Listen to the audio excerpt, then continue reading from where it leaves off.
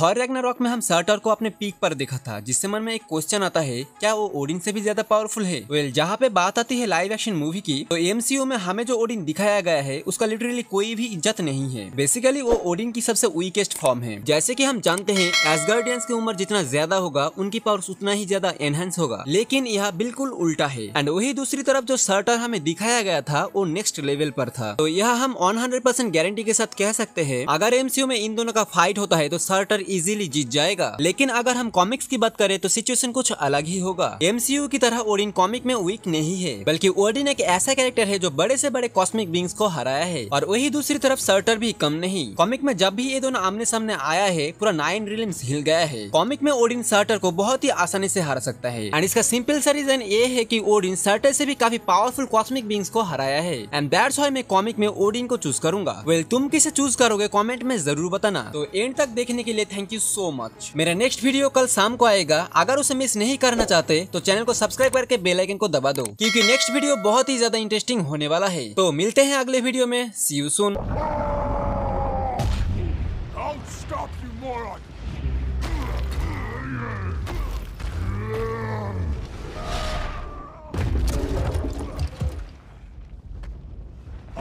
stop! Just for once in your life, don't smash! monster!